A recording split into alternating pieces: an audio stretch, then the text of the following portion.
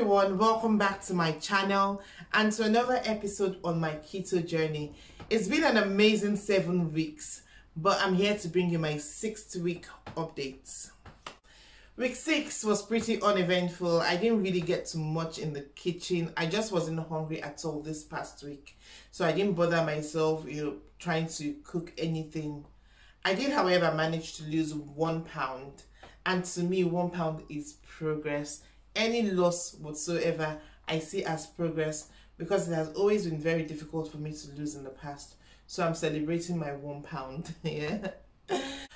Although I didn't do a lot in way of cooking, I brought you guys this cauliflower keto swallow. It's very easy to prepare and the texture and taste is very similar to pounded yam. In my opinion, this is the best keto swallow. Stay tuned for meal prep. The first recipe I'm showing you is the cauliflower keto swallow. For this recipe, you would need a medium head of cauliflower, some psyllium husk, a blender, a muslin cloth or a cheesecloth. I'm going to put a link in the description box to where I got my psyllium husk and my muslin cloth. The first thing you want to do is to cut up your cauliflower into smaller florets so that your blender can handle them easily.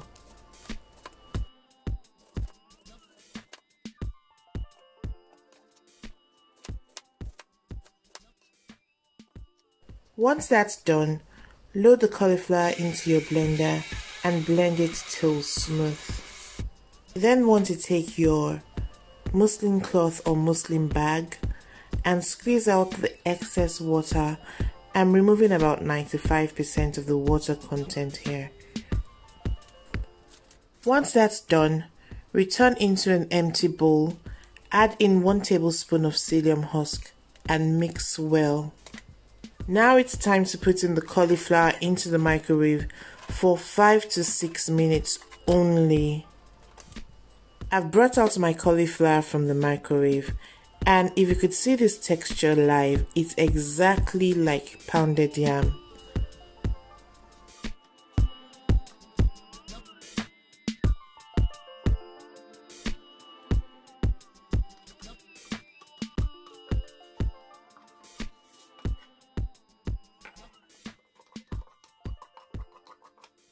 I'm having mine with ogbono soup that was just freshly prepared.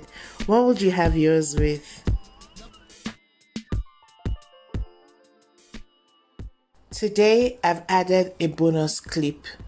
A lot of people have been asking me what they can drink on keto.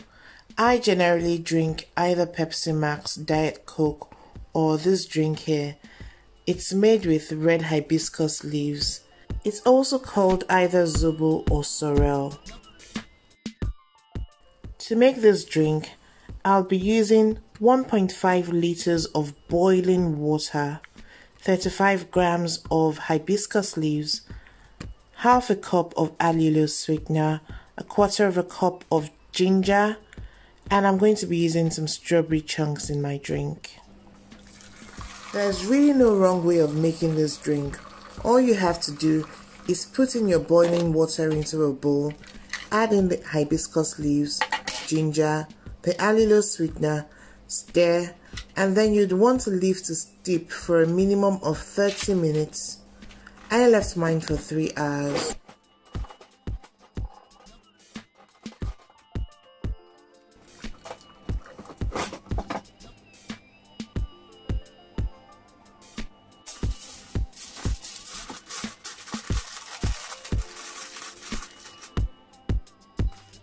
Once that's cooled down, I'm going to stir it and then using a sieve, separate the liquid from the leaves.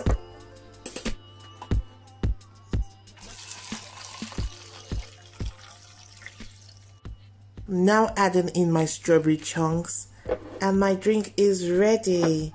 You can have this with ice cubes or without. I love mine with ice cubes.